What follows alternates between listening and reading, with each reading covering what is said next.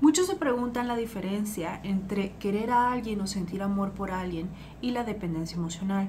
La dependencia emocional dista muchísimo del amor y por diferentes características, tanto de la persona que lo sufre como de la relación en sí. Hoy tal vez les voy a hablar un poquito de esas características para que tengan bien clara cuál es la diferencia como un punto de partida si usted conoce a alguien que está sufriendo de dependencia emocional o aún está involucrado en una relación donde existe dependencia emocional. Las personas que sufren de dependencia emocional son personas que le tienen muchísimo, muchísimo miedo de estar solas. No es tema de si disfrutan ese tiempo a solas o no, sino le tienen pánico a la idea de estar solas. Además, son personas que tienen una baja autoestima. Necesitan constantemente que los demás los aprueben, que les digan que están haciendo las cosas bien, que les digan que son queridos porque ellos no se sienten queridos a sí mismos. Además, son personas que de alguna manera buscan la aprobación de los otros. Y son personas muy demandantes. ¿A qué me refiero con demandantes? Si tienen una pareja y reciben atención de esta pareja, nunca es suficiente. Siempre quieren más y más y más y más. O si, por ejemplo, eh, esta persona tiene muestras de afecto hacia la pareja, no, es más y más y más y más lo que se demanda todo el tiempo. Esto obviamente hace que la relación se vuelva muy inestable, muy tóxica. También estas personas suelen oscilar entre periodos de ansiedad y periodos de depresión, por ejemplo.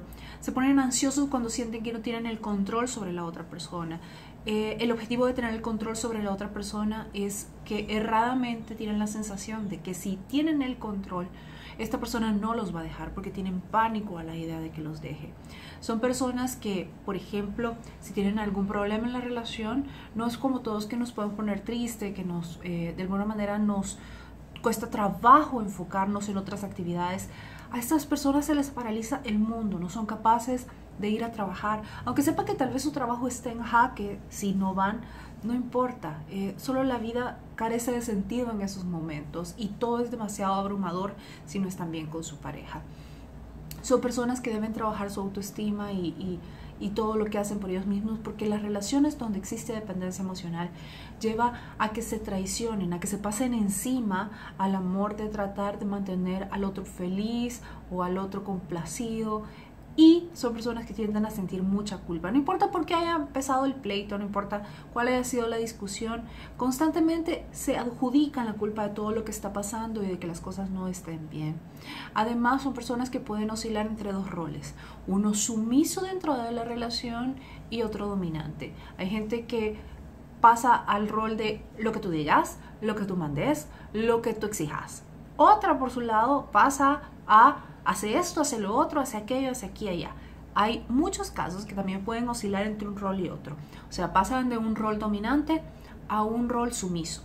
Y esto es, se da con cierta frecuencia en muchas relaciones. También son personas que no pueden quererse a sí mismos. Es, es como que tuvieran la incapacidad de ver todas las cosas buenas que muchas veces los demás ven. Una de las cosas que sucede con la dependencia emocional es que las personas buscan ayuda, ya sea de sus amigos, en profesionales, para resolver la relación en la que se encuentran o porque esa relación acaba de terminar por decisión del otro y sienten literalmente que el mundo se les acaba, que, que no van a poder y muchas veces se sumergen en depresiones sumamente profundas. El problema es que la dependencia usualmente no termina con la relación. A pesar de que la relación termine, la, dependencia tal cual migra a otro tipo de relaciones. Y esas relaciones no necesariamente tienen que ser a una pareja, pueden ser a amigos, pueden ser a familiares pero también puede mirar a la siguiente pareja. Entonces la dependencia sigue estando ahí, que es el problema principal, y se va a nuestra siguiente pareja. Por eso es que lo que hay que enfocarse es en resolver la dependencia emocional, no solo en salir de la relación que puede ser inestable, que puede ser dolorosa, sino resolver la dependencia, porque si no, este está constantemente saltando de un lado a otro. Las personas que sufren dependencia suelen quejarse también de sensaciones espantosas, de eh, me voy a morir, estoy convencido que no voy a poder con esto. Y esto se llama síndrome de abstinencia. Igual que pasa, por ejemplo, con las drogas, con el alcohol, estas personas tienen todo un pedacito en que se da todo el tema de la abstinencia, que es parte del circulito de la dependencia emocional. ¿Qué sucede durante ese periodo? Bueno, estas personas literalmente están convencidas de que su vida carece de sentido, de que realmente no van a poder sin la relación.